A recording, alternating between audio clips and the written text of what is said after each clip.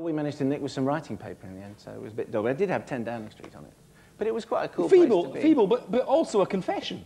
What, nicking stuff In a way, 10 Downing yeah, Street? yeah. Well, I suppose so. But if I'd managed to produce a W.E. Gladstone cup, it would have been Yeah. slightly more entertaining. the writing, yeah, or, or portraits. But Eddie Izzard failed.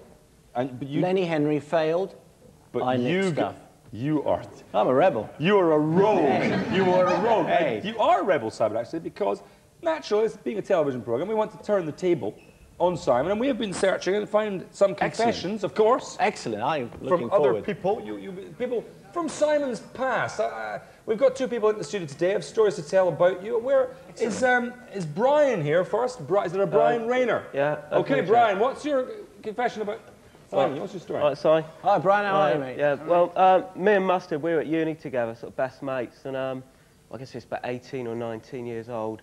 And um, I was staying at his parents one holiday, and it's Friday night, so Si asked if we could go out, and his mum said, yeah, okay, but she wanted us back at 10. Because we go out, and uh, unbelievable, we rolled in at 10 past 10.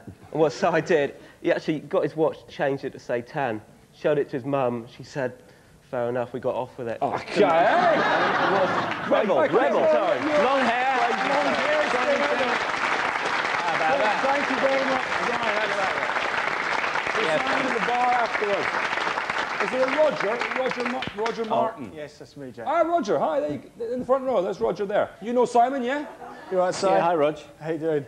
Um, well, Jack, um, Simon was the best man at my wedding. Yeah? And um, when we went out on the stag night, uh, we were in this sort of bar restaurant we, and, and we overheard this bloke saying he'd like a bit of mayo in his burger. So Simon went and sat in it. This is the... Oh, yeah. Yeah, yeah. Remember. It's all, it's all catching up with me now. Oh, there's more. Sorry, yeah. There- There's more. Yeah. And, um, you know, I had a few more beers as you do stag night. And they uh, stripped me naked and uh, Si ti- uh, tied me to a lamppost. And then I don't know where he got it, but he produced this uh, sodding great axe and uh, he cut both my bloody arms off. Well, fair enough. Fair enough. Fair enough. It's a stag night. It's. Hey, hey. Crazy bastard. Crazy days, eh?